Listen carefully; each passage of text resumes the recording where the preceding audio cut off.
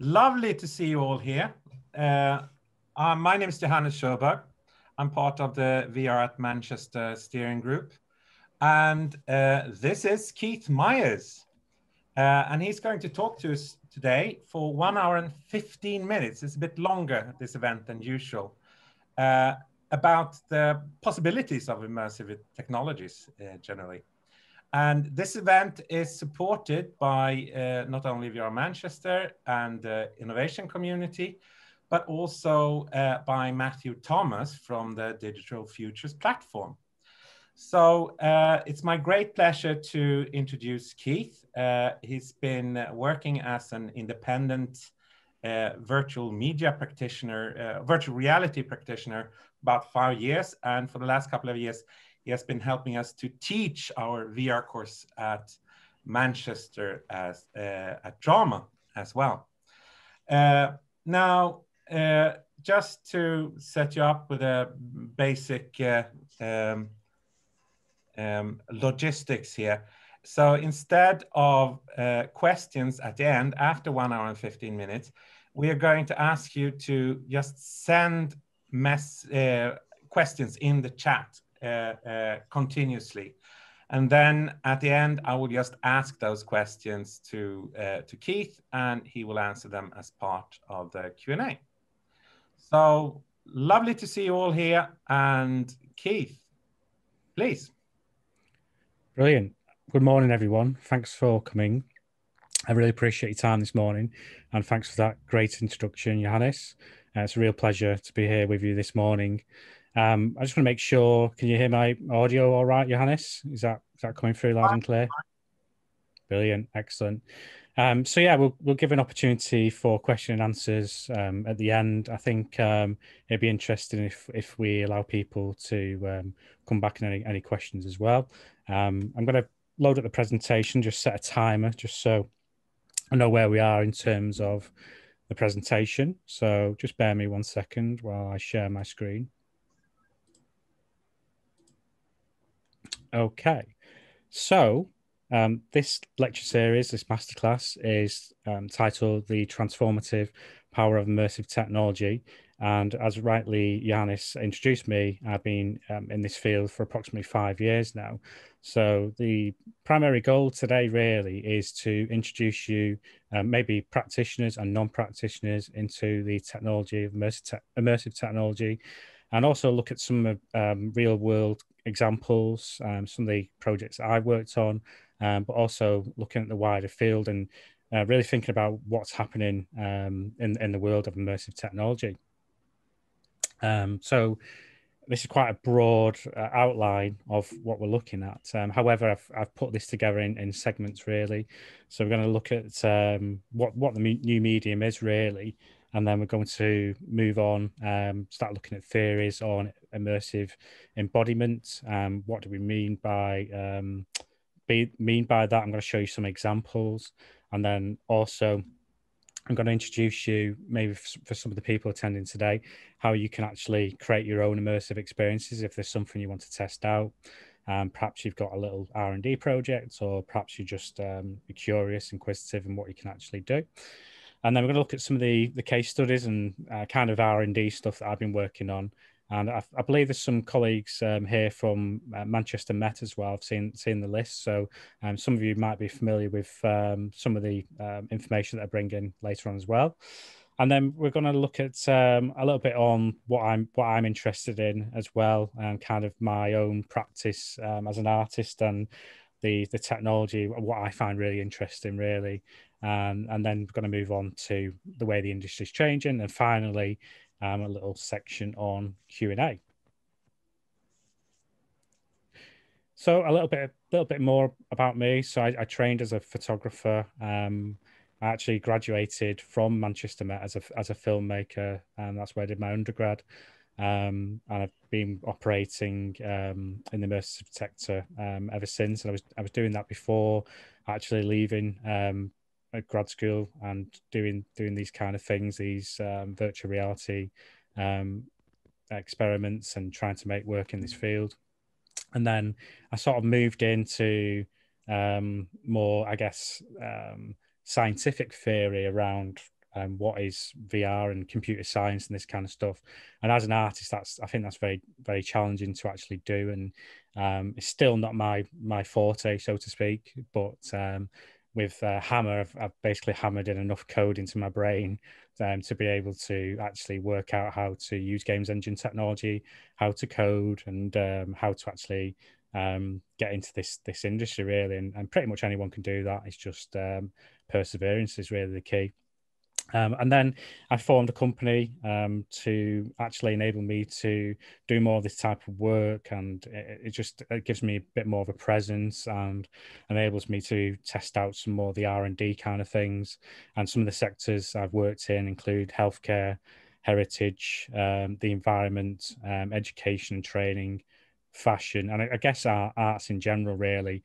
Um, my passion, my personal passion is history, so that's why I'm kind of interested in uh, heritage and what we can actually achieve with this technology. And I think there's an amazing wealth um, of of talent in this country, and there's amazing, um, so much amazing heritage in this country that um, we can actually be world leaders in in this sector. Oh, so okay. So the power of a new medium. Um, what what do we actually mean um, by this technology? Um, what do we mean by immersive? I think that's a very um, on point um, way of actually thinking about this and framing this technology. It sounds um, to the non sort of descriptive um, that to be immersed is to kind of be dipped into some sort of fluid or something.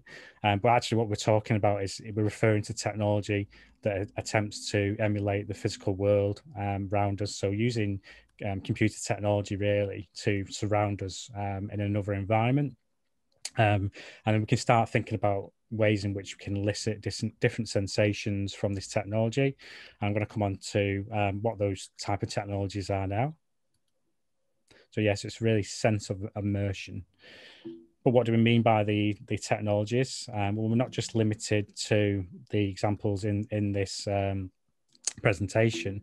The probably the most um, easy example, if you like, that we go to is virtual reality. So actually donning a v- VR headset, a head-mounted display device. Probably that's what we, we kind of think of with this technology, and that's uh, specifically virtual reality. But we've got other things as well, like um, augmented reality, um, which is uh, in its basic form is overlaying a digital environment over the real world. There's there's quite a bit of contentious debate about what those those technologies are in terms of augmented reality and mixed reality. I guess the best way I could frame mixed reality is kind of a mix um, between augmented and, and, and virtual um, using real world world haptic feedbacks, and we start thinking about uh, Microsoft Hololens and this kind of thing. But in actual fact, what we can actually use as well, another technology is 360 film, and it's a really in- easy and interesting entry point to this technology. But beyond beyond the headset, beyond the um, the phone in, in your hands, we can start thinking about performative elements because uh, immersive doesn't necessarily have to although we're com- uh, focusing on technologies today it doesn't necessarily have to be about technology it can be an immersive theatre experience and this was a sector that was doing very well until the pandemic hit us. And so we had things like the great gatsby experience in london Punchdrunk were doing things in manchester. And these are kind of experiences that are um, audience participatory participatory led. So um, interaction um, with a, a play or excuse me something that's been planned in advance um, other types of technology um, can include um, projection mapping onto a space. So that is using literally project projectors onto a space. And um, we start thinking about what the pandemic's given us in terms of accessibility to to the technology as well. These um, interactive web experiences, you can go to um, virtual galleries now. you have a lot of this kind of immersive term that's been bandied about at the moment and then we can start thinking about telepresence for Zoom and social VR. I don't think the definitions um, quite there with with, for example, um, Zoom. But we'll move on to that in a moment. And this is just a, a slide, an example. This is a company called teamLab, um, Tokyo based, I believe. They, they opened a um, immersive exhibition space in Tokyo, and then I think New York they expanded to, and they had one in uh, the Netherlands somewhere as well. And these are uh, projected environments where you can actually physically walk around an immersive space. So what they're actually using here is, um, I believe, mirrors on, on the floor and projecting um, upwards and reflecting down. So when you actually walk through this environment, you have this sort of digital um, world that you're walking through. And that's a really interesting way we can start thinking about immersive technology without actually putting on a physical headset. So I think that's kind of interesting. But their business case or business model rather has probably been hit really hard with the pandemic, I would imagine, um, because you have to physically enter these spaces. But it can be audio, audio as well. It doesn't have to be a physical digital space like this. It could be audio as well. We can create a great, great immersive experiences just by using clever audio. Um, but where, where does the term virtual reality come from? Uh, Jaron Lanier, or Jaron, I don't know how you say his name, it's American way of saying it, but um, he coined the, coined the term in around 1989, depending on what you read, to describe the experience made possible by the use of latest generation of goggles, gloves, and related technologies. So he's kind of seen as um, a, bit of a cultural theorist around virtual reality. But then you have other people as well making comments on this, such as Pierre Levy writing that VR was too important to um, continue disciplinary ignorance of, of the medium. Um, and he's he's a French philosopher, media theorist as well. So if you're interested in um, I guess more of the kind of academic background and people who are writing about this technology. Those are two people to um, look into, I, would say. And if we want to deep dive a little bit more, then we can start thinking about um, the concept of reality um, I think virtual reality or immersive immersive environments um, created by immersive technology kind of allow us to start thinking about um, sort of ontological questions around um, who who we are and where we're going and what what it means to be um, in in a world, a simulated world, um, because of arguably because of the advent of these technologies.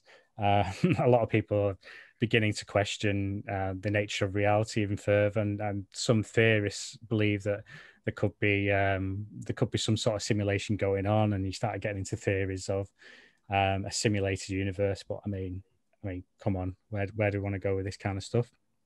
But it's really interesting to think about. I think um, as a researcher myself, to frame uh, my own understanding of, of the technology um, it's it's really have, interesting to have that contextual background. Um, I guess coming from a filmmaking and art school background, um, having that way of thinking around this technology um, really allows us to start pulling the strings of the of the technology and what it is that it can allow us to do. Um, we start thinking about things like um, Plato's cave, the allegory of the cave, um, which, if you're not familiar with it, is this kind of idea that and there's another reality outside the cave and, and and if we'd left this this reality that we're in now and that we we would no longer be recognizable to our contemporaries in terms of what we've what we've seen and witnessed they wouldn't believe us because they would literally be experiencing the world through um, shapes and shadows on, on a cave wall. Um, so that's kind of a, an interesting um, allegory into this kind of way of thinking with this technology. It stimulates us to try and think about what is possible and what we can actually um, start trying to make. And there's a little video there. I won't, I won't play that little example, but um, reading Plato is just, I mean, fantastic anyway. And, and reading around these kind of stuff is, is really interesting. Um, and that, that's where we can kind of deep dive on this this technology, I think. Um, a really interesting book on virtual art and the origins of this technology. And believe it or not, we've kind of come a long way with with this technology already. We've arguably arguably had um, the capacity and technology at least to immerse ourselves in, in art. And um, these go back to and, and in this book particularly makes um, references to and provides examples of the rotundas where you could actually physically walk into these art spaces. And these are really interesting um, ways of actually physically entering a painting. Uh, so there's the the uh, the the Sedan battle, I think it is, in um, which was a, I believe, off the top of my head, was um, a um, Prussian um, campaign uh, way back, and it's uh, commemorated in this rotunda where you can actually physically walk into the space. But there's also these other illusion spaces as well. It makes reference to in this book, and it's just a fantastic book if you're interested in trying to understand where this art form comes from. And like I say, it's it's not just now with this technology; it's it's got its origins um, back, you know, at least a couple of thousand years, really. So I would, I would recommend a, a little look into that one if you're interested in that. But why should we care about this technology? Um, some people might be familiar with this example, this hyper reality by Keiichi Matsuda. Um, and this is, and I don't know whether you're going to actually hear the sound here, but I'll try. Uh, Johannes, maybe you can tell me if you can't hear the, hear the sound of this.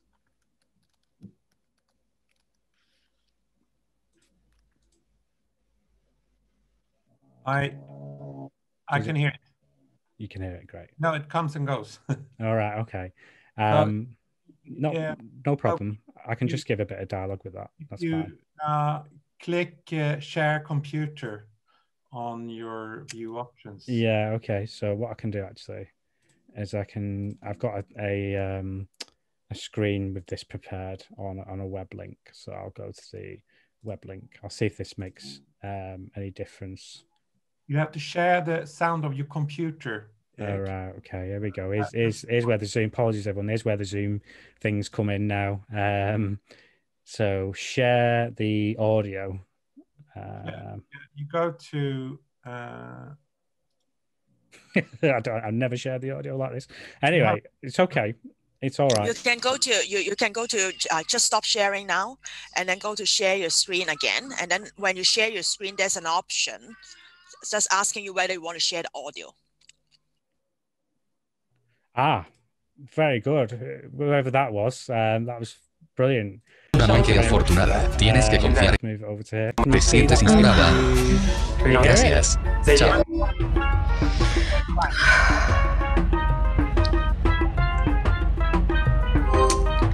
¿Quién soy yo?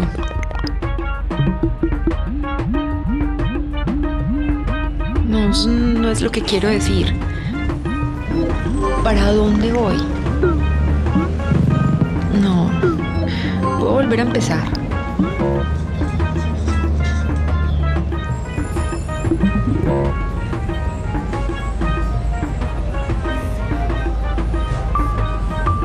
Olvídalo.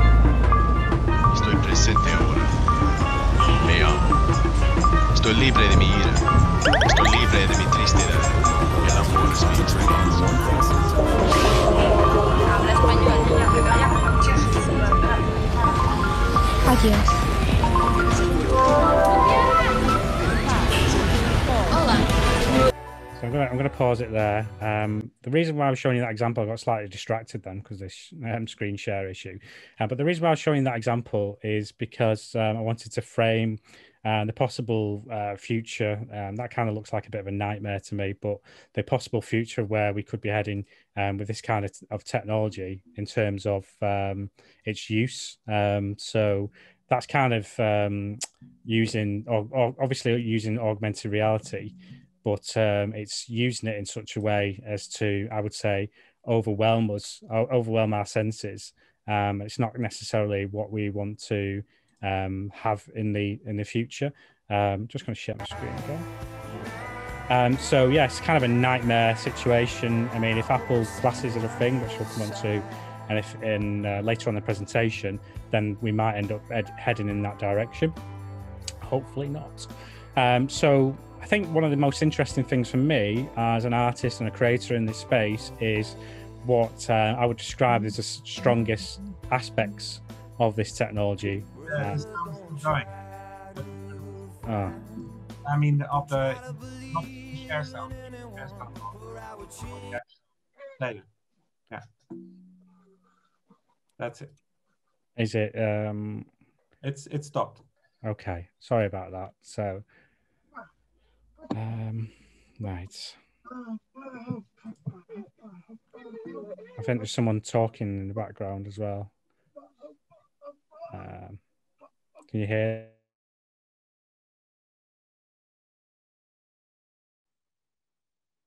Uh, Keith, You're also on mute now. Push on. Right. mute. Okay. Is that better? Can you hear me now? Now we can hear you. It's fine. Right. Okay. So, um, the reason why I was showing showing that example was um, to give you framing around the technology, um, and actually show you a, a way that uh, the world could could become a bit of a nightmare with augmented reality. The strong aspect of um, immersive technology, what it can allow us to do.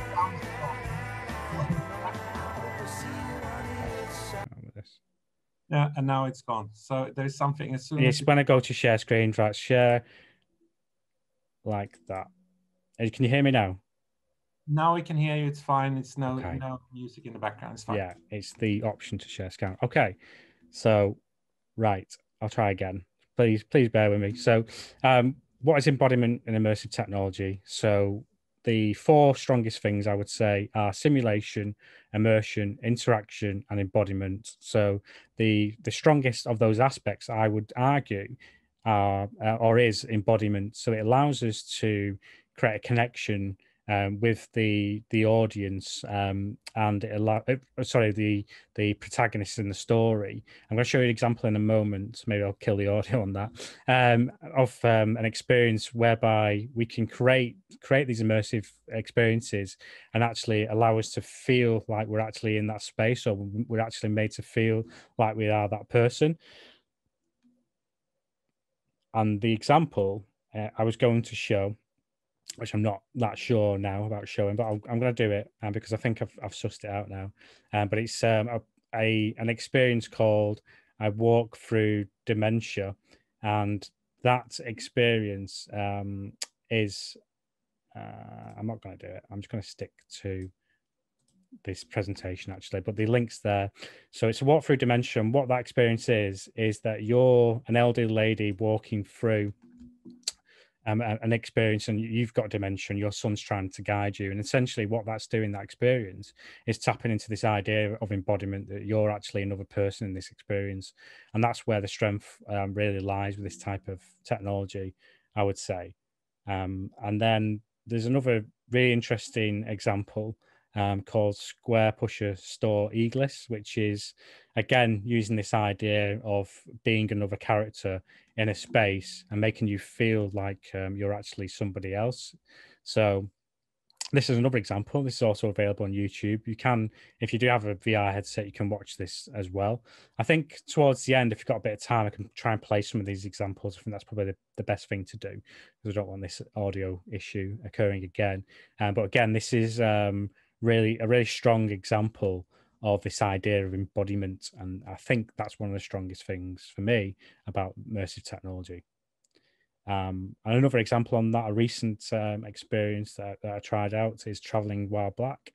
And this is kind of even taking that further, I would argue, with the idea that you're um, sort of connecting with with empathy with that person, that you, you are embodying that experience. But this is kind of done in a way um, that allows you to uh, get a sense of, of what racism was like in, in America at a particular time. Obviously, there's still issues today, but and this is looking at I think it's around the 50s or 60s, um, and it's looking at how we can actually overcome kind of societal issues and um, where we've come um, as as I guess a, a race of people um, so far with with this um, issue of racism really. So I, I would recommend trying that one out as well.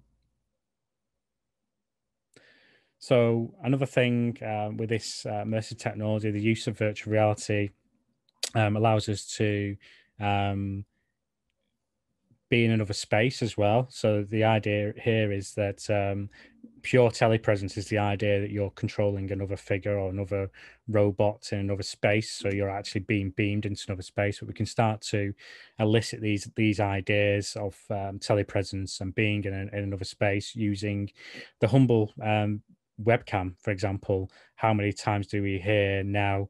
That um, we're going to a virtual event. Everything's virtual. And the reason for that is because we're facing this pandemic situation. But really, what we're doing, we're actually using technology that's been around for about at least 20 years, I would say, this uh, webcam technology. It's just the terminology shifting a little bit. And I think that's also true of, of immersive as well, um, because we've been forced to think about things a little bit differently, and people want to be able to access events and um, actually be able to go and see different things. Um, but unfortunately, because of the pandemic, we're not always able to do that. So some of these these ideas around telepresence, um, like having social experiences, we've got here uh, Altspace VR top left, um, and then the bottom left, and we've got Zoom webinars that we're, we're kind of having today, and then we've got VR chat, and VR chat and uh, Altspace are allowing you to go to ticketed events as a community online using a headset, a VR headset. So it's allowing uh, social interaction, although obviously it's not quite the same, um, but it's kind of as close as we're going to get really at the moment. Um, and then I put this example on the top right as well. I just think it's uh, an interesting way of thinking about contextual issues and, and popular media. Um, this film is uh, Surrogates, which is um, stars Bruce Willis um, amongst other actors, and it's a really interesting film because it's kind of this idea of um, that we're going to be controlling robots in the future and we're going to actually be sat inside these these robotic characters that are going to i don't know walk to the shop and get us a loaf of bread or something like that but it kind of goes a bit beyond that without spoiling the film so if you're interested in that kind of stuff i'd certainly recommend having a look into that how can we make immersive experiences? So for the creators amongst you, um, really easy entry way um, we can create immersive experiences is to use 360 camera technology. And um, these are just some of the cameras that are on the market. Personally, I'm familiar with about uh, nearly all of them. The only one I've not used now is the GoPro Max, I think.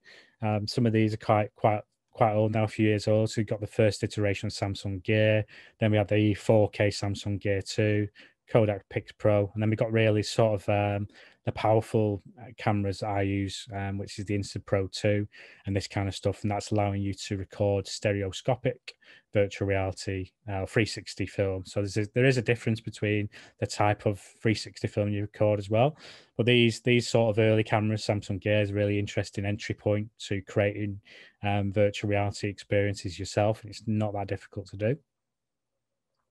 Um, some of the audio as well, likewise, um, we can use some of the devices like the Zoom HR3, which I've used, and these these um, really clever um, devices called the Xyla. They're kind of trying to simulate um, the the shape of your ear and this kind of stuff, and add this kind of ambisonic sound to your production. So there's uh, technologies are emerging and getting better all the time. But actually, um, if you are interested in taking that uh, a step further, then you can use Unreal um, Games Engine or Unity, and these allow you to pretty much create anything in your imagination. Um, all you've got to do is um, take the plunge in that respect. But th- those two games engines are re- really interesting and way of combining all these camera technology um, as well as CGI and all sorts of other things. Um, and they're kind of being used for virtual production now as well for filmmakers, which I'll come on to later. So some of the, those um, technology are entry level things, and then um, some of the early iterations of the headsets. If you want to experience uh, VR um, and immersive technology, Google Dream, Daydream, which is obsolete now, you can still use Google Cardboard. You just slot your phone in, and you can actually experience 360 film. Um, some of the headsets we've used at the University of Manchester, the Oculus Go, um, which are really um, good entry level um, experiences you can get on, get on that. Um, Oculus have pulled the plug on that, uh, the support for it, but you can still use it. Um, and likewise, the Oculus Rift now is becoming slowly obsolete. And we've got the Quest 2 down here where we are at the moment. And these um, are really good because they're allowing us to purchase VR technology for approximately £299, whereas a year and a half ago, you had to build a PC for approximately £1,000, maybe more to actually even use this this type of VR, this six degrees of freedom VR, which is the Oculus Rift. And then we've got the mixed reality stuff, the the HoloLens, and this is kind of the the promised land of um, AR glasses and mixed reality glasses. Uh, I'll come on to that in a moment. XR um, creation tools. Um, so X, XR is the the terminology that, that describes these kind of technologies. VR uh, virtual reality, augmented reality, mixed reality. This XR pipe, pipeline or umbrella, if you like, is kind of trying trying to define these technologies. Um, some of the crea- creative tools we can use uh, are, are, growing and growing. So for creatives um, who are looking to actually make immersive work themselves, we've got things like Tilt Brush, which is probably the easiest one out of the lot to use. It's really intuitive. You can actually paint in a 3D environment using a VR headset and create some fantastic work, like this really um, pretty um, butterfly nebula that's um, actually made by a friend of mine. Um, I'll come on to in a moment. And these are just really interesting ways you can actually rapidly prototype work and experience um, creating VR yourself. Um, so if you've got access to VR, I would really try and try some of those out. Um, some are quite uh, cheap, so Blocks is free. Uh, Tilt Brush is about twenty pounds, twenty five pounds, and the list is growing, of course.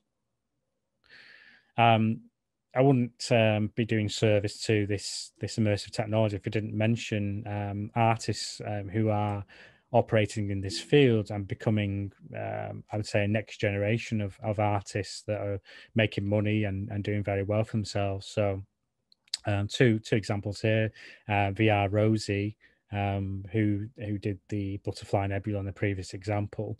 Um, she's doing some really interesting stuff in VR. She's done commissions for the BBC and um, she's draw, drawing all sorts of crazy stuff uh, for the Football Museum in Manchester, and uh, she's just really interesting person to to check out. And then, likewise, another another person that I'm connected with uh, called Metageist. Um, he's actually selling pieces of artwork in what we could determine to be a metaverse, being a virtual world where we can actually go and trade virtual artifacts online.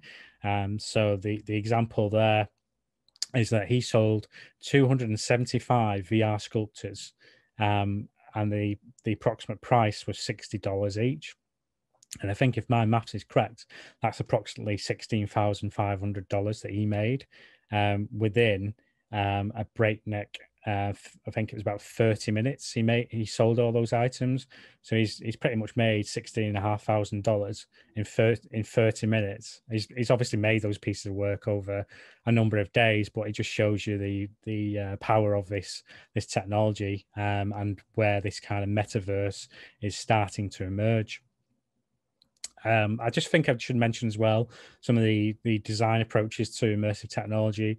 Um, this is a really interesting book by Jake Knapp, uh, former Google employee. Um, he created this sprint methodology. Um, I think in a lot of the VR labs that I've been involved with, we've kind of tried to use this um, sprint methodology to rapidly prototype VR works. It's a really interesting creative process. And then we've got the humble game design document where you kind of outline um, what the experience that you want to make is and this is game theory really but they're just two tools that you can actually use if you want to design vr experiences or immersive experiences. Moving on to the um, case studies i'm just going to show you some of the examples of the the technologies um, and the things that uh, the company i run have been doing um, so some of the projects, um, going back to the uh, original slide, uh, included um, training simulators, uh, virtual reality experience for fashion brands, heritage projects, uh, theatre and performing arts in 360. So this is um, trying to train employees on, on, soft skills. So actually creating a VR simulation, which has been rolled out to the company now, um, and, it's actually being used, and that's um, to deal with difficult customers. So these are the kind of soft skills that we might want to use the technology for. And the reason why I might want to use this technology is because it's it, the science backs up the use case of, of it. So it's um, speeding up um, the training time by reducing the costs of um, going to a physical location. It's because it's such a visual immersive media we retain more information because we're actually immersed in the environment and we can actually use metrics to to measure um, the the engagement with this technology as well and we can also start thinking about empathizing with the customer situation so when you're dealing with an angry customer um, you're you're face to face with that, that situation. So it's like you're actually there in that situation. So in this particular um, example, what we did is um, we created multiple choices in the VR experience, so you could actually choose what you what you wanted to select, and based upon your answers to um, the the the questions that you were asked or the responses to the customer rather the customer either got more angry or they calmed down and the idea there was that he was trying to bring the uh, conflict to a, good conclusion and resolve their customer problem or customer complaint.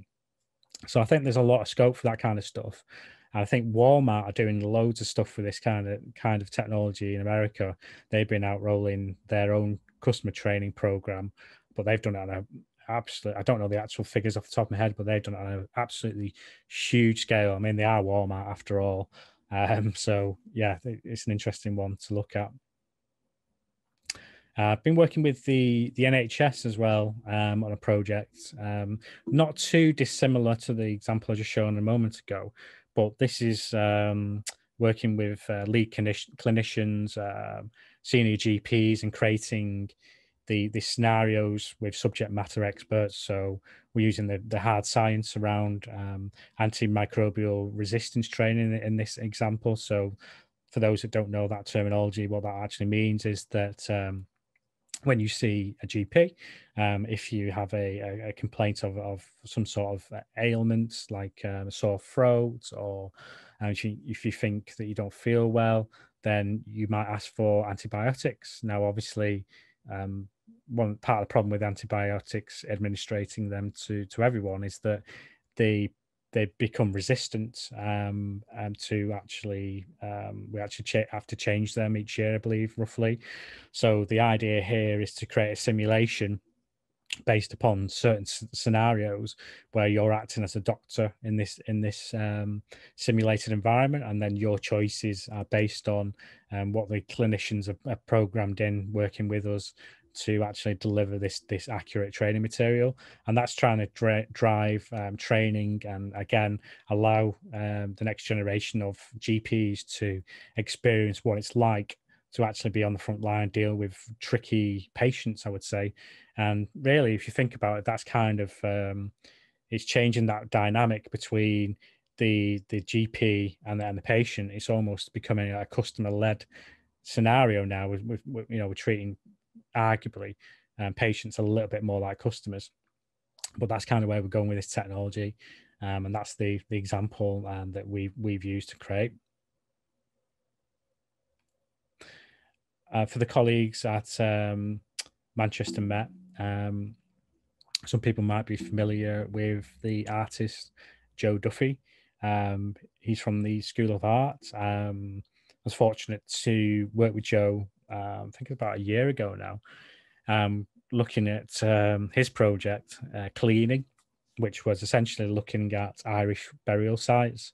Um, and it was, a, it was, a, really interesting project because what what was um, interesting was was our approach to the, the media that we were creating. So we, we were using drones and virtual reality, and that's kind of where, where I was brought in the VR stuff to create an immersive experience where you can actually physically go and visit the, these places. If you are interested in Irish burial sites, uh, burial sites, or uh, interested in the history of that, I'll put a link in the slide there as well. So check that out. But essentially, that was um, looking at this idea of unconsecrated burials in Ireland and um, this this folklore. Um, to quote Joe, it's an eerie encounter between worlds, the contemporary and the ancient, the world of the living and the world of limbo, of fairy lore and tragedy in a landscape embedded embedded with sorrow. And uh, we was very privileged and fortunate to go around these places, and uh, it's it was just crazy because we were going places that I don't think necessarily were on any sort of um, archaeological record and just really interesting places. So these these were uh, kind of get these concentric circles that have been left. Uh, you can see the image in the bottom left there. And the reason why they've been left is because farmers uh, wouldn't actually dis- disturb the ground because uh, they often were, were frightened of the repercussions of, of fairies, literally. And this was built into the Irish folklore for, uh, you know, sort of pre-Celtic um, traditions. So we're, we're talking, it's going way back this kind of stuff, but it's definitely layers of different histories and different stories on top of that. Um, but what's interesting is that these places still exist. And I think what's interesting about this technology is that we can actually physically go to these spaces and, and, and explore them and actually looking at the the drone technology and exploring and mapping out these kind of spaces was was really interesting as well. Um, so if you are interested in reading more about that, then uh, check the link out um, in the slide there. Some of the um, other experiences that um, the company has been creating is working with uh, performing arts organizations. Um, this was the Mill Girls and Militants, which was actually a celebration of um, the suffrage movement as 100 years celebration of that movement. So it's quite a complex piece, uh, very detailed piece of choreography. Um, and I worked with Ludus to create this uh, 360 immersive experience. And we was looking at really sort of the historical um, pioneers and um, in in this um, suffrage movement and people who were um, prominent figures um, who actually paved the way for women's rights. So that was really interesting experience. I put a link on to the actual um, VR experience um, as as well on there. And um, if people want to reach out to me, I'm happy to provide that as a as a downloadable as well if you're interested. And then lately, um, we've been working with theatre companies during the pandemic. Um, the example showing at the top is working for uh, a company associated with Lowry and creating a VR experience for them. Can't really say much more about that at the moment, but um, the other one is uh, another company um, creating this walkthrough experience where you can actually um, connect um, to the actual physical space.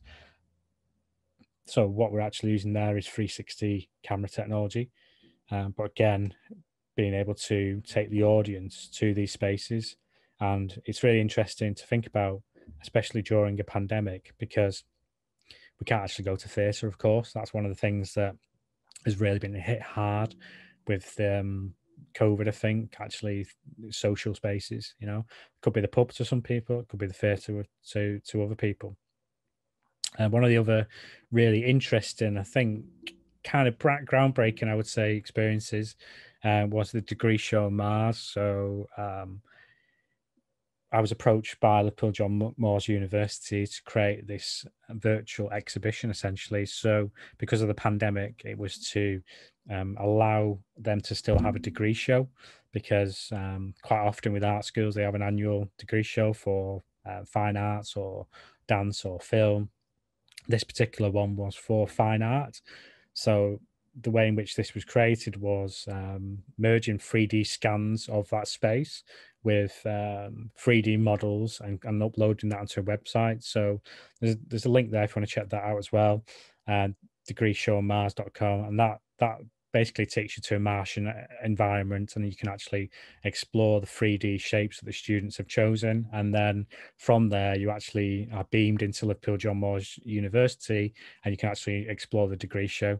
So it's a way of um, circumventing the the pandemic and the COVID restrictions, they're still allowing um, people to actually go and visit that space. Um, that was um, showcased by, I get the name right, Hans Ulrich Obrist, I think his name is, from, is it this not Saatchi, a Serpentine Gallery in London. So he came along and did, did a live um, Instagram feed um, where he actually took people you know, like a curatorial sort of thing to the degree show. So that was a really interesting project to work on. Um, again, 360 stuff, working with the Wildlife Trust to create um, an immersive experience. This was kind of uh, the main goal of this uh, was to create this experience and be taken around dementia cafes to allow people um, to to escape really and, and, explore nature. It's a poetic piece. I guess this is um, the the artistic roots that I've got. Um, actually being able to bring someone's vision to life. So working with uh, the Wildlife Trust and the Carbon Landscape in particular uh, was really interesting um, to take uh, create this experience whereby you can actually explore what I deemed to be carbon carbon landscapes. So these are areas um, over the northwest um, that um, are former former mines, former pits, these dirty areas that are polluted that have been regenerated, regreened, if you like. Um, so we're actually trying to encourage people to go and visit these environments, and the way in which we've done that is creates a virtual reality experience. So that's seen some success during this pandemic. That's actually a downloadable um, piece of material as well. I'm happy to uh, provide some links to to that as well if you want to try that out and my own practice. So um, when I was um, studying filmmaking way back and actually exploring what I found interesting, I was really interested in um, sort of approaching things from a philosophical point of view, exploring um, spaces, and uh, I was kind of became a little bit obsessed with Edmund Burke at the time, and I made some short films and this kind of stuff around sort of landscape that elicits this this idea uh, of what we can deem to be called the sublime. So this is really sort of um, evoking these these emotions of awe and terror at the same time.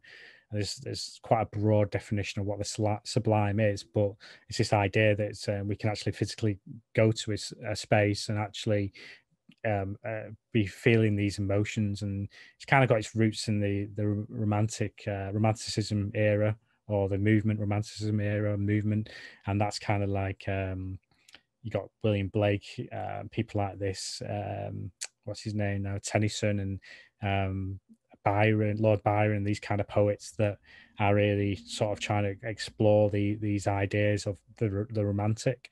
So I was really interested in kind of um, exploring these these sort of spaces in virtual reality and that's kind of what i'm still trying to do today really um, because i just find it really interesting i think this is where the the technology could be um, interesting for people to actually go out into nature and explore other, other spaces and feel a little bit of of the sublime or feel a little bit of terror and actually be be safe as well. Um, so i've just put a few images there um, what i'm actually uh, thinking about.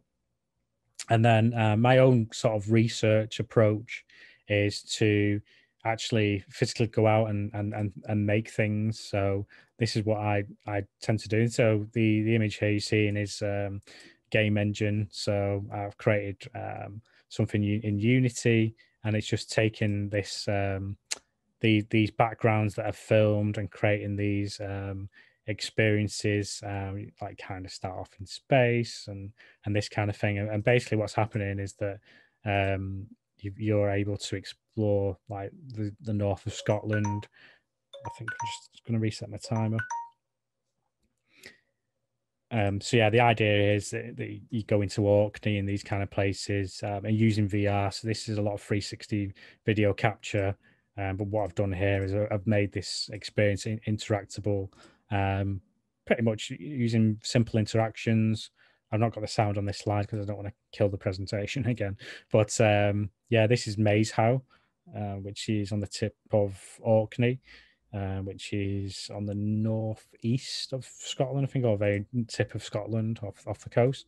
Um, so yeah, the, the idea here, here is that um, to play really and, and try and create. And um, I'm always sort of shooting stuff with a 360 camera um, or a drone trying to actually capture something and, and play around and see what's possible, uh, which can lead into the next slides. Um, what I'm working on at the moment, really. So I'm going to give you a little bit more of an insight of, of um, what what I'm working on at the minute, which is uh, 3D mapping. So I'm actually using drone technology at the moment to capture environments. So off the back of the Cillini project, really working with Joe Duffy, it kind of gave me an idea to actually physically go and, and scan these spaces.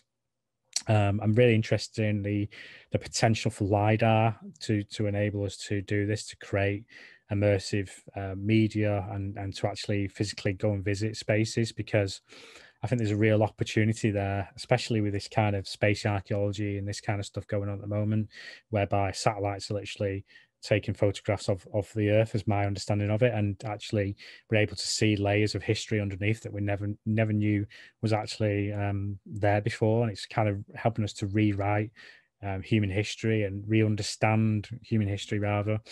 Um, so what I'm trying to do at the moment is um, is experiment around um, using um, photogrammetry from the sky pretty much and create these 3D environments. So this is just um, but Lake District, um, just you know flying around and experimenting and stuff. And this is kind of the output I want to achieve on on the left. Um, so I've just been shooting some stuff. This this one on the left isn't mine. This is um, this is actually a megalithic temple in Malta, I believe, which is supposed to be um, like a real hub in Europe of of crazy uh, megalithic structures. I think that's kind of really interesting um, to look at the these sites with this immersive ta- uh, technology and, and capture these spaces and allow people to actually physically go to these spaces. And I think there's a real um, interesting growth industry in this kind of stuff that's not being properly tapped yet because um, there's such a wealth of uh, history in this country and particularly in Europe and Ireland and these kind of places as well. I'm going to touch on a little bit of where I think the the industry is going. Um, there's a little bit of gimmicky kind of activity going on at the moment with these kind of aug- augmented reality filters. Um, I've been playing around a little bit. I'm working with an artist at the moment to create some work um, using filters, but um, as I guess the most uh, popular example everyone quotes, which is Pokemon Go, which was the uh, pretty much a treasure hunt game where you, you actually go and find the Pikachu wherever he was. Um, but I think think some people ended up walking into roads and stuff like that. So don't do that, obviously. Um, but this kind of the idea of using these Snapchat filters, um, AR Spark, and these kind of um, technologies to augment your appearance is slowly allowing um, the industry to actually get a foothold. I don't know who that person is in the slide, by the way. Looks familiar, uh, but it's uh, it's an interesting way of actually just quickly changing over an image and um, sharing that with the world. But um, I think there's there's a lot more possibility with this technology around the corner. And when when we start thinking about um, these other technologies that are occurring at the same time, the way in which we consume media. So we've got, uh, for example, Bandersnatch, um, who actually was sued actually recently. I found out um, because they breached um, I think the game manufacturer they quoted in in the Bandersnatch experience, which is available on Netflix, by the way, um, they they didn't have permission to use them, so they've, they've actually give them had to give them a payout. Um, but that's a really interesting example to try out Bandersnatch if you're not already. So if you've got a tablet or if you've got a mobile phone um, or a smart device, I think smart TV you can use it on now as well. It's basically choose your own adventure. Um, so you go on there and you determine where the protagonist goes the the twist without spoiling it too much there is that it's based on theory that um, there is no freedom of choice really. So it's the illusion of choice. So we start looking into um, i can't remember what the, the philosophical terminology is but it's kind of this idea that um, determinism or something like that. I think it is maybe where we've not actually got free will and choice, where things are actually preordained already. And this is kind of what you're playing as the role of controlling this protagonist, which is really interesting. And then um, what we've had recently is Jude Law starring in, in Punchdrunk, uh, Punchdrunk's um, interactive. Um, show where the the audience could actually um, called the eighth day, I think it was called, where the audience could actually participate in real real time with with the cast as well. Um, I was reading the abstract about that, um, which was published as well. So the idea was that the the audience could actually uh, influence the storyline. I don't know how well that's been done. I, I did tune into a couple of episodes. It was a little bit strange, but it's certainly interesting to start thinking about the way in which we we consume media audience participation i think is definitely a thing that's going to increase um, and that's going to give companies and, and organizations a real edge in a time of, of media saturation which is actually probably being driven by netflix themselves because i mean it's just binge watching isn't it? Um the the promised land of smart glasses so keep hearing about these augmented reality or mixed reality, whichever way you want to want to uh, frame it. These glasses that are going to be that the godsend of marketing, and they're going to allow us to walk around these worlds. And using the example before that I couldn't get the sound playing at first, you know, the one with the filters around the world. So the idea with with that short film example is that basically you're going to be wearing one of these headset um, devices. So it's actually augmented reality glasses. So um, on the right there, and we've got the image that was Google Glass, which didn't kind of work out. They kind of tried to get all these celebrities like Tom Hanks and people wearing these glasses, and uh, for whatever reason, it, they didn't have the business case there. Didn't didn't actually work out. And then we have um, the mixed reality ones from Magic Leap, and they were another company that came along, and they were again giving us the promised land of augmented reality. Everyone would be using it, blah blah blah. But it's actually mixed reality. To be fair, I did I did experience some mixed reality at, at home in Manchester using the Magic Leap actually, where I thought was kind of interesting. But it's that again, it's that gimmicky factor, and they they were telling us they were going to um, roll this out and it's going to be amazing, and then I think they went bust in the end. Again, another example of where this technology uh, is supposed to be delivered, this this this promised land, uh, it hasn't materialized. And then I was reading a, an article, excuse me, in the Guardian the other day and the Guardian was was again postulating this idea of Apple smart um, devices that you were able to put on your your head and actually traverse um, this new digital world. I think it is coming, but how how much do people want to stick um, augmented reality glasses on yet? Probably the next generation. Um, and then it's t- kind of tying into this idea of um, and I wanted to frame this for this particular audience that I'm speaking to today because I think it's kind of interesting to start thinking about these ideas of of this singularity event and not necessarily the terminology singularity but if you think about the emerging technology that's taking place now you've got augmented reality virtual reality you've got nanotechnology um, you've got genetics changing robotics ai all these kind of stuff that are going on. You've got uh, the space industry seemingly growing, and they're all promising this kind of new new world we're going to be stepping into. And if you are interested in looking at the futurists that um, are thinking about this kind of stuff, then my own personal um, look into that is kind of people like Ray Kurzweil. Um, he was hired by Google um, as a director of engineering, focusing focusing on machine learning. And if you read his book, "The Singularity is Near: When Humans Transcend Biology," which is pretty big book, and it, it, probably took me a couple of years to read it, to be honest with you. Uh, but he's kind of um, putting forward this idea that man's going to become cy- uh, cybernetic, he's going to become a cyborg and merge with technology. You could argue that you know with the with the mobile phone today we've we're only one step away from that what's the difference between having it in your hand and a, and a, chip in your head well the ability to remove it but we're kind of we're going in that direction. Um, and the the guardian article that I made reference to the other day um, that was interesting because it was trying to put forward the idea of this this cyborg human that we would have these glasses and we're already using these wireless earbuds and this kind of stuff and we're becoming more and more machine like which you could argue is the reason why we're becoming more and more overloaded because we're on that cusp of um, actually stepping over the threshold. And if people like Elon Musk have the way the Neuro, Neuralink um, becomes a reality. But it, again it could be it could be fantasy. A lot of this stuff I think as well.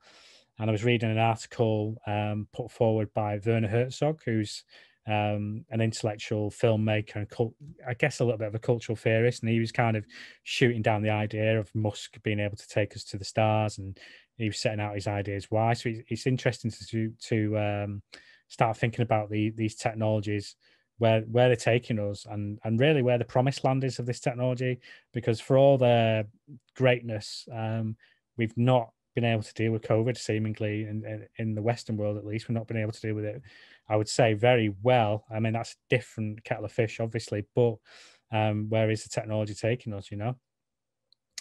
Um, some of the things the, the technology, the immersive technology has allowed us to do is to go to these virtual events. So um, I went to this gig, um, if you like, or festival called Lost Horizon. That was really interesting. So you could don a VR um, headset and you can actually physically walk around the space. You could design your own avatar. And that was really interesting to to try um, and actually do that. And that was like at the height of the pandemic where we were completely locked down in the first wave. That was really interesting. But you've got um, artists like Travis Scott who are who um, performing in in games engines uh, using um, Fortnite, which is an actual game, and he had over 12 million people 12 million gamers worldwide watch his performance. And that's that's the kind of idea this metaverse stepping forward where we're actually stepping into this digital space and we're actually able to watch gigs and socially interact with each other. And i think that's really interesting as a as a potential for growth as well. The other examples in this include the, the virtual factory, um, the, the image on the left, which is what MIF, Manchester, Manchester, Inter, yeah, Manchester International Festival, have been involved with recently. And then we've got the Burning Man VR festival, which is kind of this glowing neon female figure below that.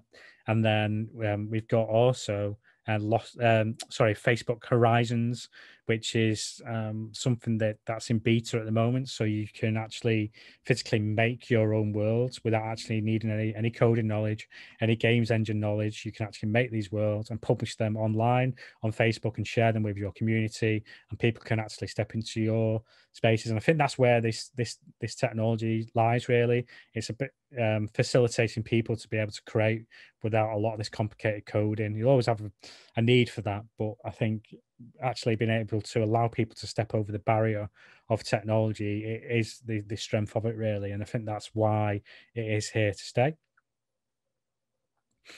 Uh, some of the tools just just um, i think i should mention for augmented reality creation just off the back of the 360 production. Um, so you can download um, software on your home computer and play around with pretty easily. There's loads of tutorials online uh, for Snap Studio and AR Spark and even um, Project Aero, which you do need Adobe account for, that allows you to create more, I guess, bespoke augmented reality experiences. And that allows you to really start playing with the idea of placemaker augmented reality. So, for example, when you physically go to maybe a statue. Um, you would bring your phone up, you would scan that statue, and the statue would physically start talking to you. That's kind of the idea of, of, of placemaking. So it's a physical interaction with real world objects and to elicit or actually create these experiences where an audience can actually physically go and visit them. So these are the these are the uh, some of the technologies you can actually use. I'm uh, just touching on, uh, I've kind of done this already, but um, I think uh, it's really interesting to start thinking about um, space technology in your hands. Um, so Apple giving you access to lidar technology on the iPhone 12 Pro is is pretty amazing, really.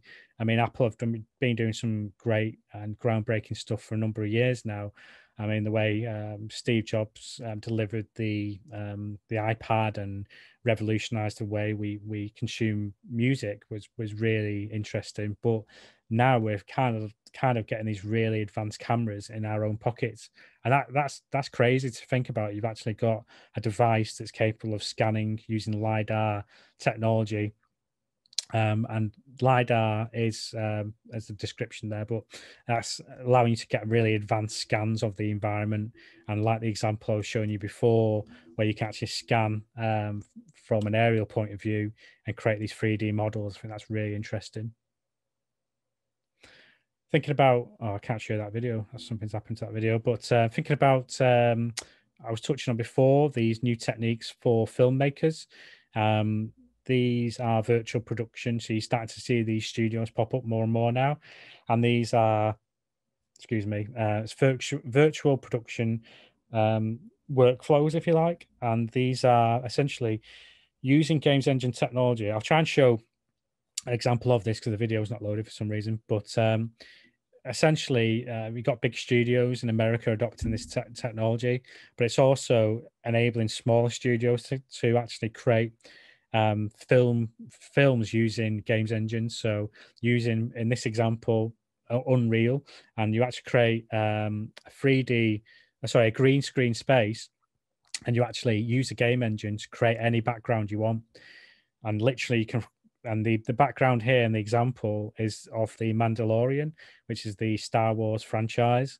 Um, the video is not working, but I'll try and find out um, and, dig out the link for you. It's obviously made it more private, but um, that's allowing filmmakers to create real world ma- environments from the comfort of their own studio or home without actually uh, physically needing to go to these spaces and fa- spend thousands of dollars of transporting a crew um, transporting the people who've got to feed the crew uh, you know you're talking about all the actors and this kind of stuff so straight away um, you, you're saving potentially million dollar, millions of dollars on a, on a big shoot.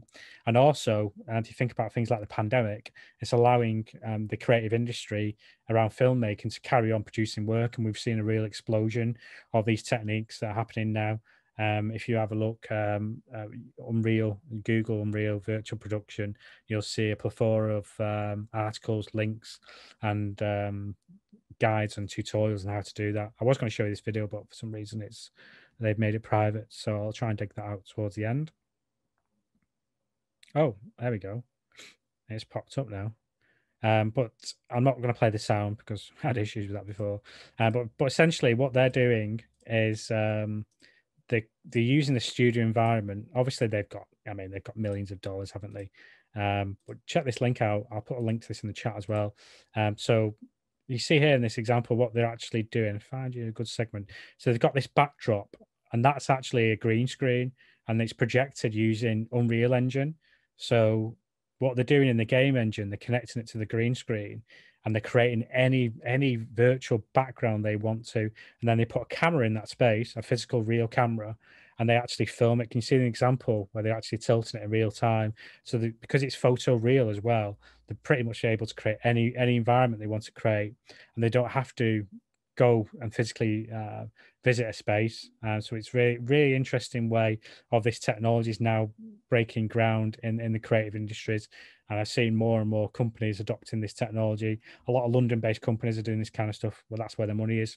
A lot of studios are doing this stuff now as well. I think there's a big um, screen school opening in um, Liverpool come in as well, and uh, there's another one in Pine. What is it? Pinewood Studios. They're they're adopting this technology, I believe, as well. So that's really interesting. Um, some of the other techniques include volumetric um, capturing. So this is the idea of you actually capturing um, your subject using hologram hologram capture techniques. So, project that I worked on a few years ago uh, for St George's Hall in Liverpool, and we actually filmed our actors using green screen, similar to the example I just showing you then, and we actually captured their uh, light mass, and then we took that light mass data. So it's basically data, zeros and ones, and we take that into a game engine, and we create these holograms and you can see you kind of get a, a, visual feel for this type of um, trope that's been used for a number of years now. It's a few years old, this technology, but the example I showed you with the um, LiDAR iPhone is really taking that step forward. And I can see that the the iPhone taking over from this a little bit complicated technology, really, but it allows us to start um, creating holograms and taking those holograms and putting them into augmented reality experiences, virtual reality experiences. And recently, um, I believe that Kanye West's wife, what's her name now? Um, Mrs. Kanye West, I forget her name, Card Kim Kardashian West. Uh, she recently got a present from her husband, and it was uh, the effigy of a dead father talking to her as a hologram, which is uh, just came out just before Halloween, funnily enough, as well. And it, it's like very Black Mirror, uh, but they they thought that was fantastic. So someone created a hologram of um, Kim Kardashian West's dead father and give her that as a as a present, as like a giant uh, talking effigy, and uh, yeah, it's it's really weird, but that's the kind of stuff we can do with this technology. So look into that, by the way, as well. I'll, again, I'll try and find a link for you. Um, very interesting stuff. If you're interested in the kind of um, dynamics of the sector where where it's growing, um, there's a link there to the immersive economy report. I don't think the uh, latest one's out. I think this is 20, 2019 on that link, and that kind of uh, gives you a sector by sector analysis of the immersive technology industry, looking at things like construction, education, training, and all sorts of uh, industry segments. Um, my own sort of research has also um, led me down the path of um, looking at sort of game theory as well. Uh, this this person's really interesting, Jane McGonigal. Um, she's kind of a, a futurist. Really interestingly, um, in this book, Reality is Broken, and this is published in early 2000 uh, i think about 2004 2008 i can't remember off the top of my head but um, she's talking about the coming pandemics in, in the future. So the, these future futurists are already seeing this uh, based on trends that we're already having. These these pandemics that we just can't um, weren't materialized in the western world yet So um, it's really interesting to start thinking about a gamified approach to solving problems. I'm not saying this is the answer, but it's it's what she's trying to put forward in this book is like we can actually work together and create these these experiences, social experiences, to to actually solve real world problems. So I think that's a really interesting um, way of thinking about the world. And she did a TED talk called "Gaming Can Make a Better World" as well, um, which is available online. Um, check that out if you're really interested in people who are really on on the on the money and thinking about the future. I think uh, she's really interested in the, the book. If you're really interested, and it's called "Reality is Broken," and that's like I say, a gamified approach to solving real world problems. It's uh, excellent. I think I'm coming towards the end now, Johannes. Um, I've taught for a long time. Um, I'm about 12, um, 15 almost. So um, I'll just bring in some of the links as well to to other stuff as well. Um, some of the articles, uh, some of the, the, immersive groups in Manchester as well. Um, part of uh, Future Artists Meetup group as well. This is kind of where we was based in the shed. Um, actually, at uh, Manchester Met for a number of years. Uh, I believe the shed's gone now, and we live in this this new world, whatever that world is, where we can't physically meet. And uh, we'll see what happens in the future. Um, we've also got a Facebook group if you're interested in joining that, um, and also VR Manchester as well. It's a really interesting group. Again, not currently meeting up because of the pandemic. Um, and just just want to close on um, really just just some points of stimulation in regards to uh, the current situation we're in now. Maybe um, maybe we start thinking about these technologies, how they can how we've not been able to do the things we, we've been able to do and how, how these kind of immersive technologies again it's under quite a broad umbrella but i've touched on some examples for you today um, how we can actually navigate this world and, and this current lockdown situation. And we can start thinking about what, what we love doing what we can't do and are there technologies that can enable us to to actually do this? And that's why we're seeing a proliferation of the use of zoom and um, these other technologies really. So i think um, on that, I mean, I can leave my contact details there, but I think it's probably best to like lay on this slide, so to speak. Johannes. Fantastic. Thank you so much, Keith. Uh, really appreciate it. Uh, now, okay, so we are going for the questions in the chat. Uh, so it, just let me scroll back okay. beginning of that. so I think we have uh, the first question, if I'm not wrong, was from Costas. So Costas is saying, we are using Matterport to 3D scan cultural spaces, for example, museum exhibitions. And we'd like to know uh, to, to now export those 3D scans in Unity UE so that we can manipulate those spaces, add 3D scanned objects and multimedia content, and create a social and immersive experience in those 3D scan spaces for people through avatars. Matterport is easy and quick, but the way we want to use it seems not easily uh, compatible with it. Would, uh, and here comes the question, would you recommend a different approach to create those mixed reality and socially interactive spaces? Yes, um, I have got first-hand experience with exactly that. Just to give a bit of context to everyone else who heard that question, it's a very technical question, and that relates to a piece of technology. It's called a Matterport scanner. Um, it's a camera that you use, and using I've showed the Degree show Mars example before. We use the Matterport camera to scan our spaces, and then we connected that to a custom web server to allow this uh, interactive immersive experience. But essentially, what the Matterport is doing is scanning a space and allow you to, to export a 360 environment that can be hosted on Matterport's environment. To answer the question, um, it's it's it's a terrible thing that Matterport give you because they they give you an opportunity to download a mesh and export that mesh into a game engine. Um, during the uh, the construction of the degree show on Mars, uh, we decided not to go down that avenue because uh, we found it very difficult to translate um, the actual mesh, um, which is like a 3D model, into a game engine. I would start looking at other things like like the iPhone 12 personally. Um, they've uh, Matterport are also doing support for Android at the moment.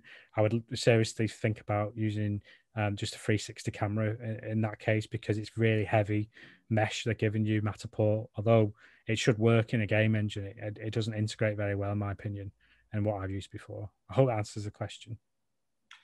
So, Costas, if you have any follow up questions on that, please enter it into the chat.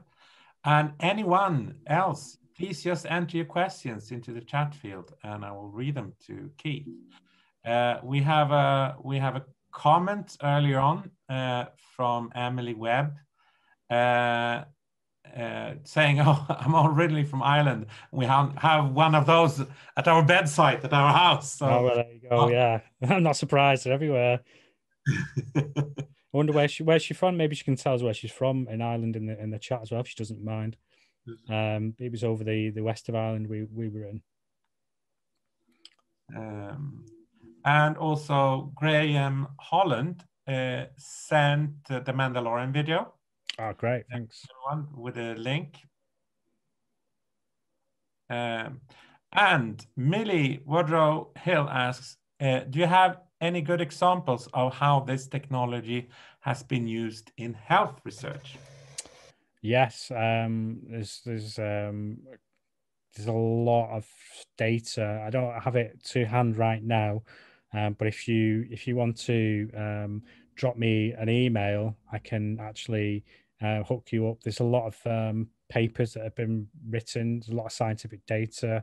I've read um, quite a few journals now, uh, but I'd have to dig, dig those out. I don't have those to hand um, on the the um, the application and use of immersive technology for um, medical purposes. I'm actually speaking on a panel, um, a medical led panel um, next month. I need to publish the details of that, but um, I've been invited to speak on that panel around the immersive work that I've done in uh, for the NHS. So that, that could be quite interesting.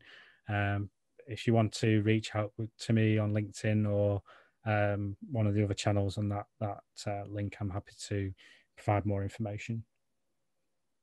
Fantastic, Keith. Just you have your email in the PowerPoint presentation, don't you? Yeah, correct. It's on, on uh, the link. There. So, and you will share the PowerPoint presentation with us. Yes. So that's how you would get in touch with Keith afterwards through uh, that email. Uh, okay. So, uh, Kate, to everyone, thank you so much for this. I've learned loads. Uh, oh, okay. she has to go to another meeting. um, uh, right. Okay, so Emily Webb says the fairy ring is called uh, the Rough Fort. Uh, I know it. North coast. Uh, so Martin Turner asked everyone, what recommended setup for uh, uh, novice people for 330, uh, 360 degree video creation, uh, for example, for Manchester lab technicians, etc. Not necessarily the best quality, but easy to set up. Did you get that? Easy, easy one, that one. Um, I can point him back to just going back in the presentation for him. Um, is um, basically, if he's interested, try these cameras here Samsung Gear and Samsung Gear 2. They're really cheap. You pick them up next to nothing secondhand. And that's a really uh, basic entry level way of um, getting into the technology. That's why I included it. So um, get those cameras. You can pick them up probably Samsung Gear 1 for less than 100 quid secondhand, easy. Fantastic. And Martin, if you have any follow up questions, just please uh, feel free to ask those. Uh, and Millie says, thank you, that would be great. I'll drop you a line. And uh, uh, Johnny thought it was a brilliant presentation. Thanks, Johnny. Uh, now, uh, okay. So Omer asks, any advice on how we can import CSV text files in Unity and create a mesh with textures? Thanks. Hmm, I don't know the answer to that question, if I'm honest with you. Um, yeah, and I would imagine there's. Um, I've come across that before somewhere else. Um, my first instinct is to go to Google, you know, as we do, but um, it's um, you probably can do it, but um, it's it's going to be very very tricky to do it. There'll probably be if you look on GitHub, there probably is a repository. Probably someone's created um, a method for that. Um, finding useful help on Unity can be uh, pretty difficult sometimes, or or even Unreal. That's that's part of the problem with this this stuff as well. Finding really good help help stuff. But I would have a look on the Unity forums um, for that and um, see if you can find the information there. Really, I don't know off the top of my head. Uh, thank you, Keith. Uh, okay, so Steve asked, do you see community developed uh, content extended from the game engine modding community on the horizon? Hundred um, percent. I've been involved with um, games designers and developers over this pandemic. There's um, a really um, a really interesting self startup group, Leeds based, to um, doing this thing called Free Free P VR. Um, it's um, F R E E P VR, and that's like a it's an online platform that um, a small company set up where you can actually visit in in VR, and it's likely to they host these um, these events and these uh, music events as well. And that's just an independent company that's doing that. So it's definitely there's definitely growing scope, and there's communities popping up all all over the place. Uh, the metaverse hasn't been created yet, but it's under construction. Um, we've got to be careful that um, the big corporations don't end up owning it all, like Facebook Horizons. But that that kind of is the way we're going at the moment, I think. Thank you, Keith. Uh, uh, Rosella, hello there, Rosella. Long time no see. Uh, I'm happy that you got in touch with us. I guess you're in Portugal now, uh, or maybe the United States even. Rosella writes, thanks a lot. Do you know if there are experiences to make or see with children? Some years ago, there was a legal disclaimer saying that VR vision is not suitable for people under 13 years old. That's a good, very good point. I would stick with that parameter, by the way, because um, what happens is um, when I did an exhibition a few years ago, there was a guy who came to view a piece of my work, and he was like, uh, he had his kid. His kid was about five, and he was like, um, "Oh, let my let my child see the VR." And I was like, "I, think he's too young to do it." And he was very very insistent. I said, "Like, like you know, I don't really think you should do that." And he he did it. Anyway, the kid put on the VR, and like the kid's like, "Oh," I started freaking out, and I was just like, yeah, because um, the brain the brain isn't formed uh, enough around that age group. So it's around twelve or thirteen now, depending which country you're in. And um, I would stick to that parameter. I don't think, um, although my nephew, he when he was 10, 11, he was using VR and he was fine. So it just depends on um, the person, really.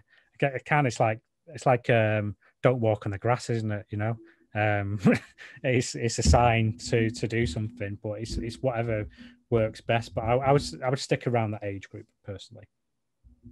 Thank you, Keith. Uh, well, just to uh, give a note, since Rosella is not here in uh, in person, Rosella is working on a very interesting PhD project with uh, uh participatory um, um, virtual reality uh, with female uh, inmates in Italy that they they are in prison with with the children. Wow. Uh, so she's actually exploring how you can use virtual reality filmmaking uh, as part of that, which is uh, uh, fantastic. So I, I hope to hear more from you in the future, Rosella. just on that, Rosella, maybe try the Google Cardboard for the kids because it's not as not as closing the head head off if that's an integral part of this, then maybe excuse me, trying to use the Google Cardboard as a full as as opposed to a full head mounted display might be might help you out. Right, uh, Carlos Osorio, uh, Osorio, sorry. To answer Omer's question, you can extract the data from CSV, convert it into vector three through scripting. So that's very useful information uh, to Omer. for that. Yeah. Um, and Omer just saw that, so and, and he asked a follow-up question: Does Unity have a specific library code to do this, or anywhere I can find more about this script? That might be something that you know yeah. about. It's uh, it depends on the Unity version and the uh, native libraries using. So there's so many different versions of the game engine. That's part of the challenge. Some Unity versions will work with some things, and some Unity Unity versions won't work work with others. So just needs to have a look at that in more detail. I think. Brilliant. Okay, so please sending us uh, questions on the chat if you have any. Uh, I'm going to ask uh, couple of questions myself now to Keith. Um, maybe maybe after that, Yanis, you can offer to open the mic if anyone wants to ask, ask a, a, direct question as well, perhaps as well. That's up to Matt because it, the mic is actually a problem of Zoom security. Oh right, okay, no no worries. We can stick with this. We'll, we'll ask Matt about that. Okay. Um, righty. So my question for you. So uh, during our courses uh, uh, at drama and film at the University of Manchester, uh, you uh, have been working as a guest lecturer there, uh, and what we, what we actually been exploring more and more, which I find incredibly interesting, coming from film studies myself, is how uh, it, differently the, the, the, the, narrative is working when you're trying to make uh, uh, VR film compared to the, the film formats we are used to. So how how would you describe the key points in how to build a VR film narrative compared to building just a film script? Very good question. The first thing you need to realize is that the medium is completely different. So the the idea of, of of let's use virtual reality as an example of, of an immersive technology the thing is with virtual reality you've got a headset you're inside an experience so if you physically move the camera around quite quickly when you're recording the virtual reality experience if it's made using a 360 camera then straight away when your participant puts the headset on they're going to feel nauseous and sick so you need to think about things like staging the experience you need to think about where you position the camera and uh, predominantly maybe think about putting the camera on some sort of tripod or solid device. Then the next thing you need to think about is um, the the key areas of interest around you. So we've got the curiosity zone that, that, exists behind us. Not everyone goes for that, but normally your peripheral vision is kind of um, perpendicular around, and you, you, this is your point of interest. The center kind of here, the two points here, and then we can look around. So the way in which you'd approach it is that you would need to consider everything that's in the frame Whereas on a, on a, traditional film set, you would be looking at a rectangular, traditionally now, 16 by 9 frame, and that would be um, what you would film and create. So um, things like um, shooting for drama, for example, work particularly well in traditional film because it allows us to cut quickly. But in virtual reality, though, those cuts can be very jarring and they can mm. disorient us because if you move to scene to scene very quickly, what happens is your brain has to re- reorientate itself in that environment. And that takes probably a few milliseconds. I don't know the exact time, but um, that's something that needs to take place. So you have to reorientate yourself in that environment. So you wouldn't um, create an immersive piece, immersive experience, virtual reality in this case, um, whereby you've got lots of fast, fast cuts, unless you're trying to make your audience feel nauseous or sick, and that's the intention to give that feeling. What you would do is generally use slower transitions. You would use audio to transport your viewer into the next space, gradual fades, um, points where the user would look at would change slowly. If you really go into the CGI stuff and, and the games engine technology, there's a lot of stuff you can do. So you can fracture the environment, and that could be transition, for example. You just got to think about what your viewer is going to going to be seeing all around them and how they're going to move to the environment. So I think the examples that we worked on together, Johannes, um, some of the students were, were, making some really interesting empathy pieces, mm-hmm. um, and they were really considering what the medium can do in terms of being an em- empathy machine, and that's one of its real strengths. Really, it's allowing us to be in the shoes of somebody else, and I, I think that's really where its power is. So when we're approaching the creation of whatever you're creating, really what we should be doing is thinking about is immersive technology right for this? Because if it's not, then you shouldn't be creating it. And 90% of the stuff that exists is a gimmick, I would say. And there's probably 10% that's really good stuff. But I've given you what I think is the is the best stuff in this presentation. I pointed you towards the the, the strong stuff that's thinking about this medium, that's allowing us to explore a different way of creating and interpreting work. Thank you, Keith. So Johnny has a question for you here. Where is a good starting point if an academic wants to create a virtual field trip? I guess something like Google Tour Creator? Yeah, um, Google did have a platform until very recently, actually, and they pulled the plug on it. And it was called Google Art, uh, Google Arts and Civilization, and that was um, a way you could actually uh, physically go and explore different exhi- exhibits. If he's um, the, the the person asking the questions um, trying to create a virtual tour. Well, in actual fact, what he can do is if he's got access to a VR headset, he can use Google Google Earth VR and he can physically go and, and actually explore the world in a headset. That is actually an actual thing. So you can actually go to Google, use Google Earth VR, and physically go to a, a space. And what you could potentially do with that is, is curate your own your your own spaces um, a project I worked on for my grad film actually a few years ago. Um, I made a, a tour of um, a fire station in London, London Road Fire Station, and that was like um, it's kind of a virtual tour where you could go and ex- explore the space. But what made that interesting was the rich and interesting history of the the community that existed in, in that space, and what made it strong was uh, examining that community and finding those stories and embedding those stories in the experience. And I think I don't mean to um, sound like I'm, I'm, using a pun, but it is it is storytelling really in a way because and without a good story, then you're just creating a thing. But if you've got something that's got a good story in the experience, and that that's true with with a lot of art forms really, and then you you're actually giving giving some somebody a, a strong experience. So I would think about maybe maybe the narrative of what it is you're trying to do, what type of tour it is, what makes it interesting. Um, using a 360 camera to capture, um, like I showed in the example before, is a really interesting uh, way of, of actually going and physically filming and experimenting yourself. These cameras, like I say, are really cheap. Um, and then you can edit them. You can use uh, Premiere Pro, which obviously got paid for the package. But if you're an academic, you should have an academic license for that. And then uh, things, there's free tools as well, free video editing software tools as well you can use uh, Blender is a free v- 3D creation package. You can edit 360 video in Blender, it's a bit chunky the workflow, but there are other 360 editing tools available as well. Great. So uh, uh, Carlos is adding here um, to Omer, exactly like Keith said, depending on the version you're using, check out the documentation on the uh, procedural mesh creation to set up how to create your mesh.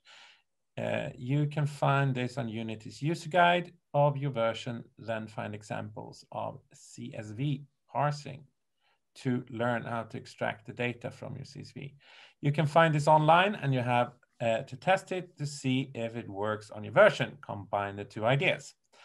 Okay, uh, so um, Johnny says thank you, and also Otto says thank you. He thought it was great. Um, brilliant. Any more questions, please? Anyone?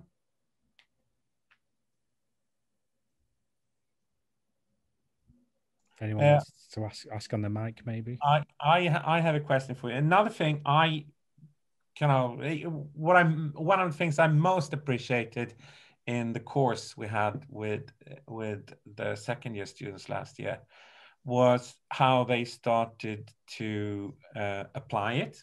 So, uh, just what what uh, possibilities do you see with regards to social applications of virtual reality? Uh, because obviously. Um, um traditionally VR at Manchester has been quite dominated by science, but actually when you speak about social applications uh, uh, and VR, uh, what do you think about that? I think there's um there's an untapped um, ground for all this yet, and I think the reason why you're seeing companies like Facebook who bought Oculus invested in this because they rec- recognize the social power of, of virtual reality. But part of the problem with this technology, and it is worth noting at the moment, is the clunkiness of it. So it's great that we we've got the ability to put a headset on and physically go go to another space, but part of the part of the thing is a lot of people don't want to have to do that because what we want uh, we want things that ease our transition. So the reason why tv screen works so well is because you just turn it on and it works. We know it works and it's worked for a number of years. The thing is with with the uh, vr is that it's got the, the great potential to allow us to enter spaces and and physically meet up and this kind of stuff but it is getting better. It's getting smaller and less expensive. I think if it's going to really grow, then they, they need need to focus on these community spaces and allow uh, groups to come together to create their own experiences. We're seeing Facebook Horizon trying to do this thing now, and then we've seen a little bit of a shift away from their app production process. So they're opening it up in terms of being able to develop for the Oculus Quest device, which is encouraging. But they need to they need to help foster the the the growth in that industry by by giving something back. I don't know what that is yet.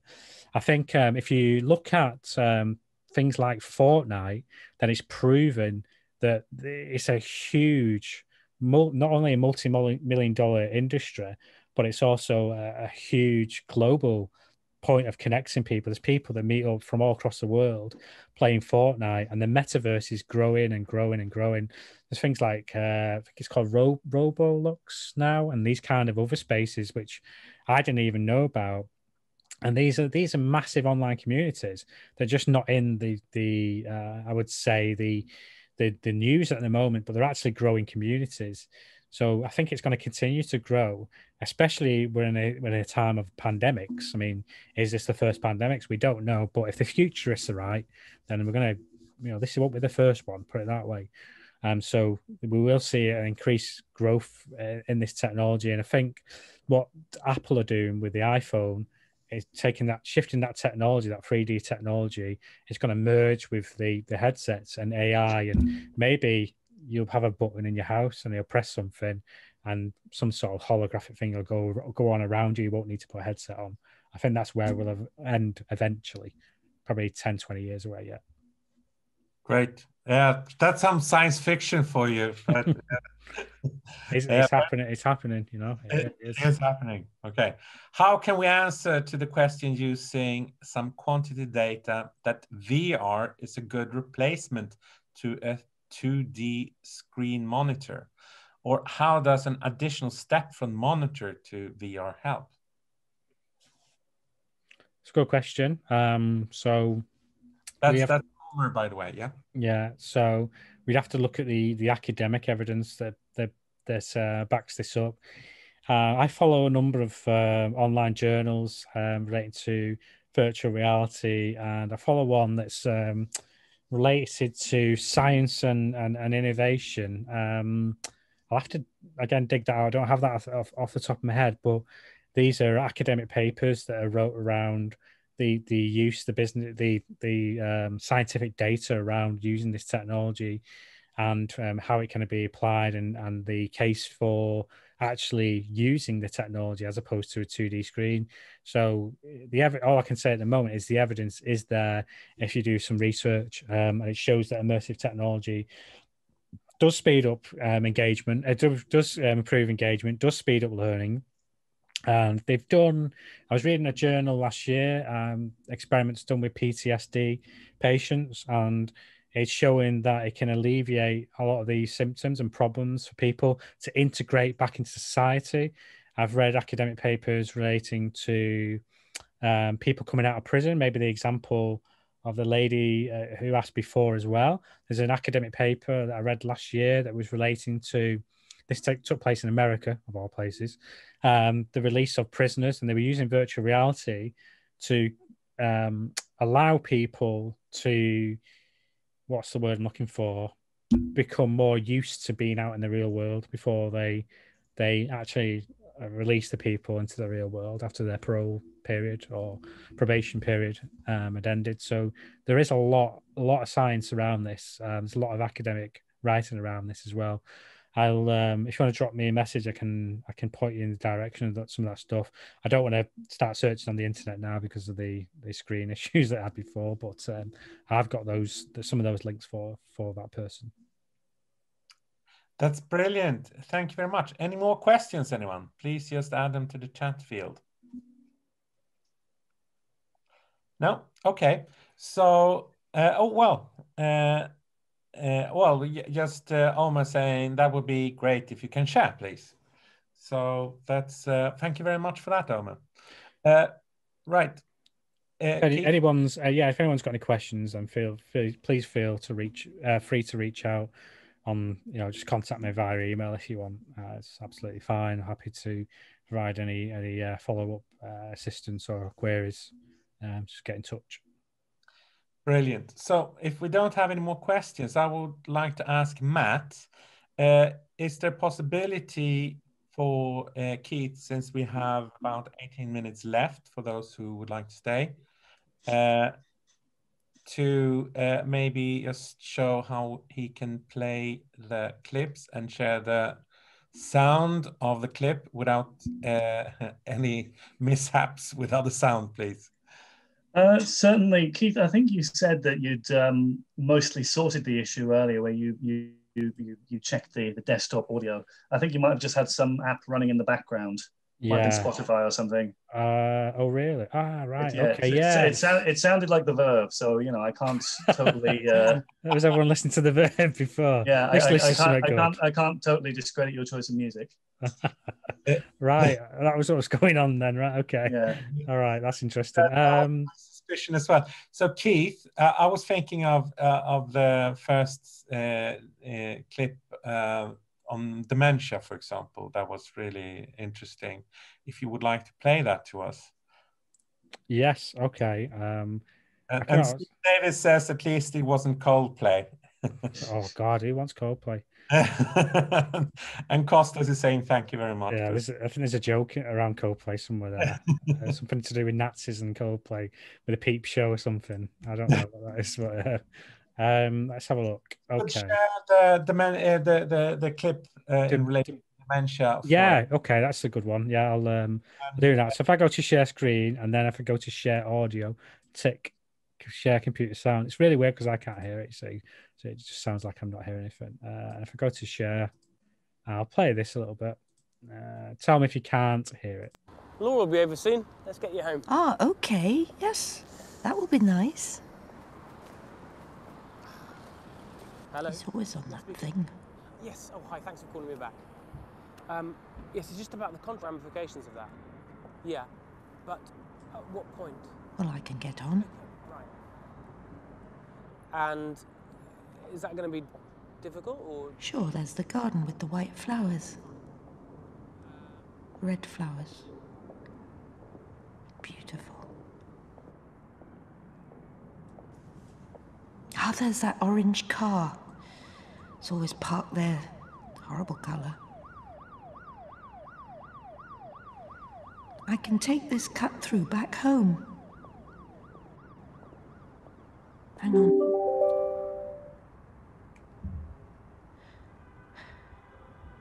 Hang on. This isn't the right cut through. This isn't the alleyway.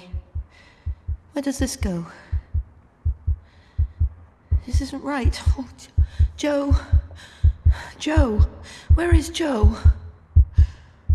Oh, that's Joe. Oh. Is it? Ah. Joe? Oh, no, no. Sorry, you, you've, uh, you've mistaken me for somebody else. Uh, you all right? Can I help? I'm really sorry. We're, we're together. Oh, right, okay. Well, no worries, eh? Thank, thanks for your help. Cheers. Where have you been? I was talking on the phone when I turned around. You weren't there. I was so worried. You okay? Yes, yes, I'm okay. Come on, let's get you home. I'm sorry. I think I'll pause it about there. Um, what a terrible son. Just leaves his mum. You know what's going on there. I'll just just abandon my mother. Uh, Can you give us some context on this clip since Sure. it was the beginning of the presentation? yeah, no problem. So uh, I watched this in Manchester actually, and I think in about 2016 at the Manchester Festival and the Town Hall. There's a company that um, made this piece.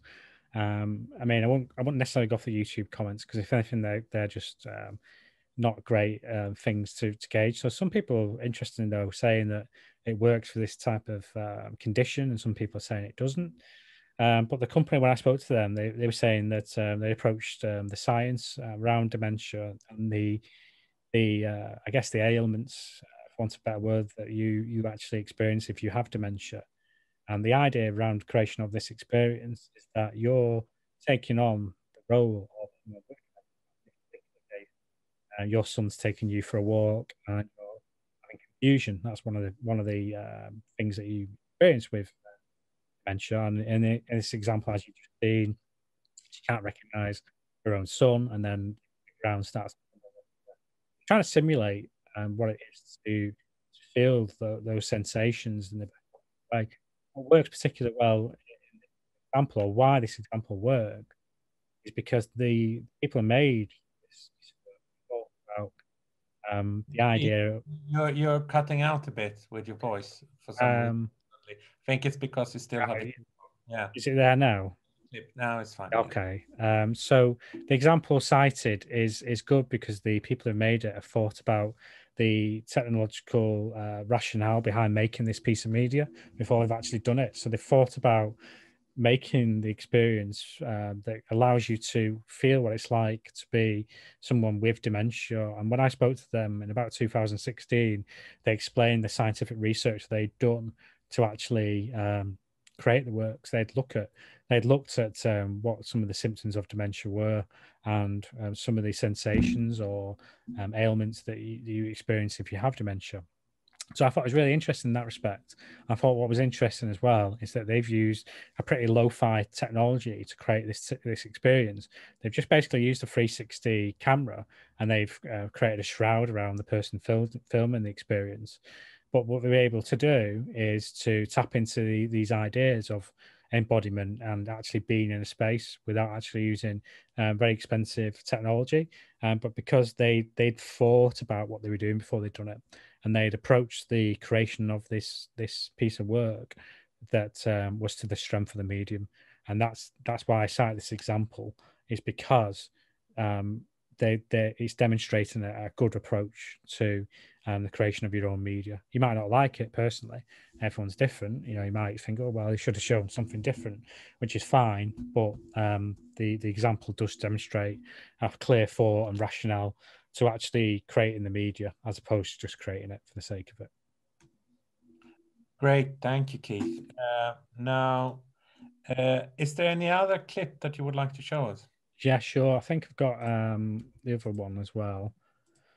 Um, yeah, I've got the. I'll show you this one as well. I'll share the screen, and I have to remember to come back and turn my mic off. Or I, it's so fidgety Zoom sometimes. Um, let's have a look. Share computer sound. Share. Okay, so I'll play a bit of this. Uh, give me a thumbs up if you can hear. Oh yeah, sure. Um, I have to stop sharing before I do that. So this is Squarepusher Stor Eiglass. Um, this is a CGI world, so it's a bit different from the other example. So they've uh, it looks like they've probably used Unity or something, game engine technology, to create this experience. Uh, but this is this works well, I feel, because um, a you you're actually physically inside a character, so when you look down, you feel like you're embodying this uh, kind of weird creature with a head headless torso. Um, and also the um, watch for the people and the experience waving to you.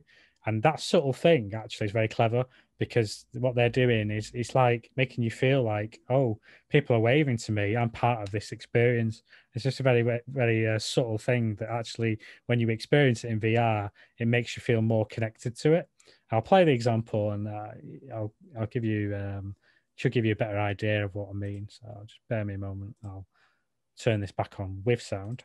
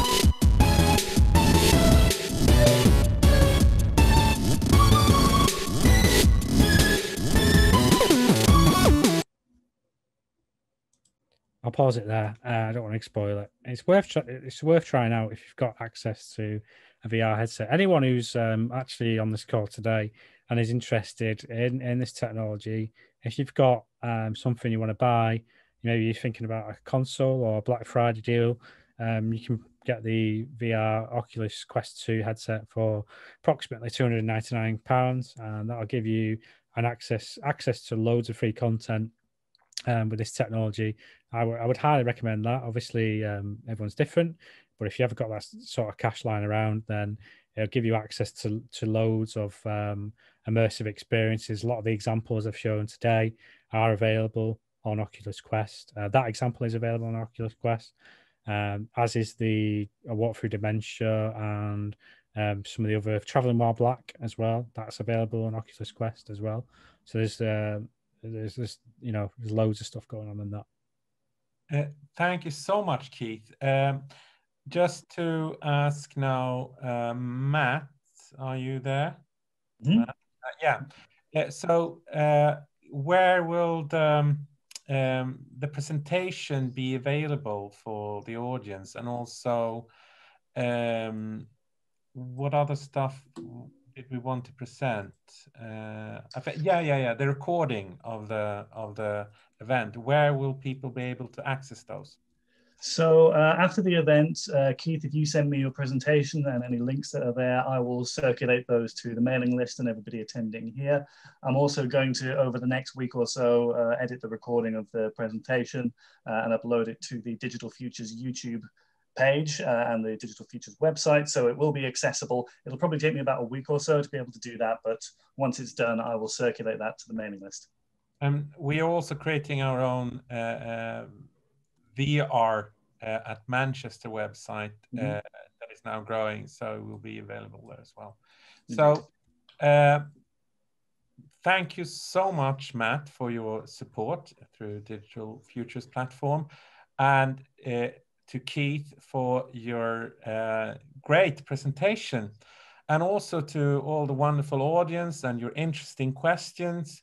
And I'm really looking forward to uh, our next presentation for VR at Manchester, whenever it might be. And we will make sure to uh, reach out to you through Matt and Digital Futures. Uh, so thank you very much for today.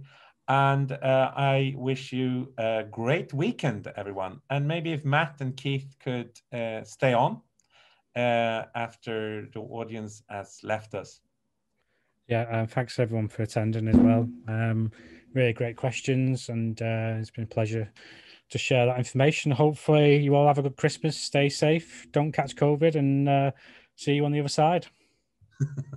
on the right side. Yeah.